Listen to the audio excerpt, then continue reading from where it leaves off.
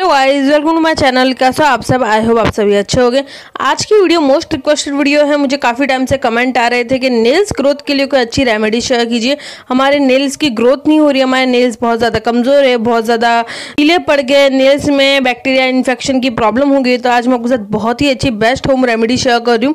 जो हम remedy use करते हैं, वही मैं आज आपके साथ शेयर कर रही हूँ। ये रेमेडी आपके नेल्स को लॉन्ग स्ट्रॉन्ग शाइनी हेल्दी बनाएगा। तो चलिए जानते हैं आपको किस तरह से बनाना है। आगे बढ़ने से पहले मैं यहाँ पे एक बात मेंशन कर दूँ कि मुझे बड़े नेल्स नहीं पसंद तो यहाँ पे मैं वीडियो में अपनी सिस्टर के नेल्स दिखा रही हूँ। आप देख सकते हो, ये इसके ओरिजिनल नेल्स है। आप भी अपने नेल्स की ग्रोथ को फास्ट करना चाहते हो, आप भी अपने नेल्स को लॉन्ग स्ट्रॉन्ग शाइनी हेल्दी बनाना चाहते हो तो चलिए जाते हैं आपको किस तरह से बनाना है। आप मेरी वीडियो के एंड तक बने रहिए। वीडियो पसंद आए तो लाइक सब्सक्राइब एंड शेयर करना ना भूलिए अपने फ्रेंड्स एंड फैमिली के साथ। सबसे पहले मैंने यहाँ पे क्लीन बाउल लिया है। उसके बाद फिर मैं इसमें गुनगुना पानी ऐड कर। रही हूँ आप देख सकते हो मैं यहाँ पे गुनगुना पानी ले रही हूँ।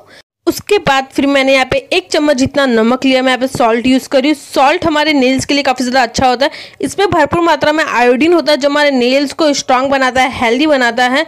तो यहाँ पे इन दोनों चीज़ों को बहुत ही अच्छे से आपको मिक्स कर लेना है। उसके बाद फिर आपको आपके नेल्स बहुत ही अच्छे से क्लीन करना, आपके नेल्स एकदम क्लीन होने चाहिए। उसके बाद फिर आपको अपने हाथों को पानी में डिप कर लेना है। पाँच से दस मिनट तक के लिए आपको कुछ इस तरह से डिप करके रखना है। दोनों हाथों को जिस तरह से मैं आपको वीडियो में दिखा रही हूँ, आपको उसी तरह से ही करना है। आप देख सकते हो मैं किस तरह से कर रही हूँ। ऐसे करने से आपके नेल्स में जितनी भी गंदगी रहेगी, वो भी निकलेगी। आपके नेल्स का पीलापन भी दूर होगा।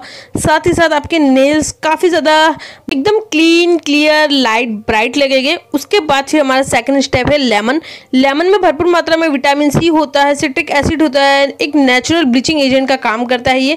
ये हमारे नेल से जो पीलापन है, उसे रिमूव करने में काफ़ी ज़्यादा हेल्प करता है।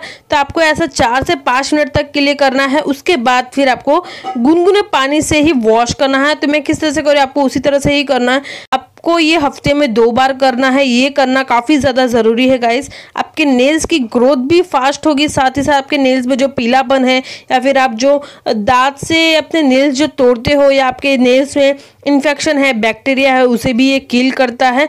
तो आपको ये वाला प्रोसेस करना काफ़ी ज़्यादा ज़रूरी है। आपको बाहर से, ऊपर से, आप जिस तरह से आप वीडियो में देख रहे हो, आपको उसी तरह से ही करना। उसके बाद फिर आपको अपने नेल्स वॉश कर लेना, फिर आपको क्लीन वाटर से वॉश कर लेना है। मैं यहाँ पे वीडियो में सिर्फ़ आपको यहाँ पे एग्जांपल करके दिखा रही हूँ। आपको क्लीन वाटर से वॉश करने के बाद फिर हम चलते हैं थर्ड स्टेप की तरफ़। ये हमारा मेन स्टेप है। तो यहाँ पे मैंने एक बाउल लिया है। उसके बाद फिर मैं इसमें कैस्टर्ड ऑयल यूज़ करी कैस्टर्ड ऑयल हमारी स्किन के लिए, हमारे हेयर के लिए, हमारे नेल्स के लिए काफ़ी ज़्यादा अच्छा होता है। तो यहाँ पर मैं एक चम्मच जितना कैस्टर्ड ऑयल यूज़ करी आप देख सकते हो।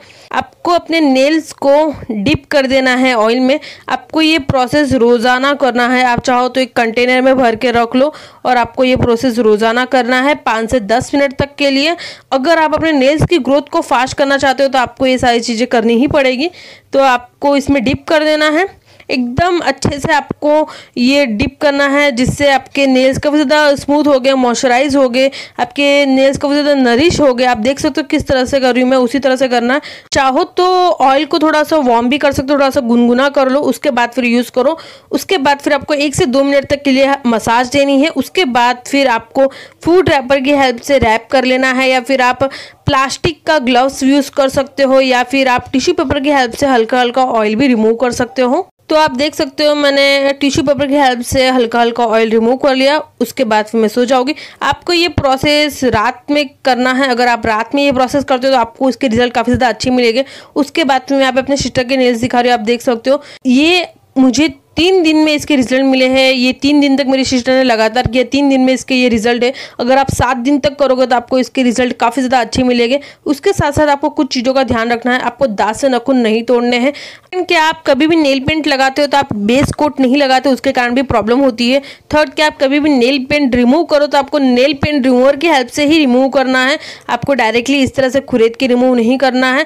साथ ही साथ अगर आप कोई भी नेल पेंट यूज़ करते हो तो केमिकल फ्री वाला यूज़ करो, अच्छी ब्रांड का यूज़ करो। जो मैंने आपको बताया, वो आपको सारी चीज़ें फॉलो करनी है। साथ ही साथ आपको हेल्दी डाइट लेनी है, जिसमें भरपूर मात्रा में विटामिन सी हो विटामिन बी हो आपकी स्किन के लिए, आपके हेल्थ के लिए, आपके नेल्स के लिए काफ़ी ज़्यादा अच्छा होता है। आप हेल्दी डाइट लो, आपको खुद अपने नेल्स में काफ़ी अच्छा रिज़ल्ट मिलेगा। तो ये थी मेरी आज की वीडियो वीडियो पसंद है तो लाइक करो, ज़्यादा ज़्यादा अपने फ्रेंड्स एंड फैमिली साथ शेयर करो। ऐसे ही इंटरेस्टिंग वीडियो के लिए अपने यूट्यूब चैनल को सब्सक्राइब कर लो। Thank you so much watching this video bye guys मिलते हैं नेक्स्ट वीडियो में।